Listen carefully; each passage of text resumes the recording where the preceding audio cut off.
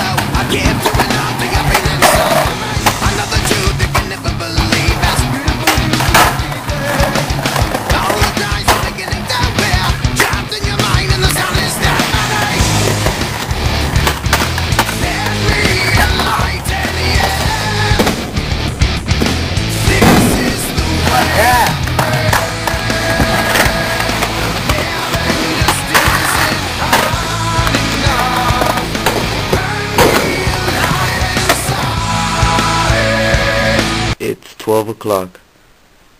And that concludes the skateboarding day. Go skateboarding day.